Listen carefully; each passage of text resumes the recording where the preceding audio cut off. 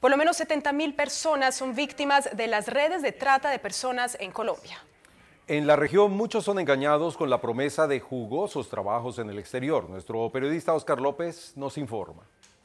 En ciudades como Cali la trata de personas puede comenzar con atractivos ofrecimientos de trabajos en el exterior que se transforman en esclavizantes experiencias de explotación sin condiciones sociales, prostitución y otros frentes ofrecimientos de carreras artísticas, ofrecimientos en el modelaje, por ejemplo, también. Y lo cierto es que la trata significa que a una persona la captan con ese engaño, con coacción, para trasladarla a otro sitio dentro del mismo país, que sería la trata interna, o por fuera del país, que es la trata transnacional, con el fin de explotarla en diferentes actividades.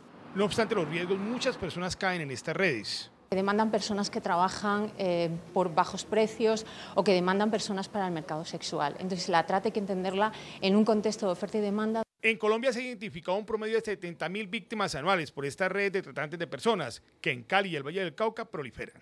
Inicialmente las redes se orientaban hacia España, Italia y Holanda. Posteriormente el objetivo era llevar personas hacia Panamá. Y en los últimos meses se ha identificado que han cambiado las rutas hacia el Perú, Chile y Canadá.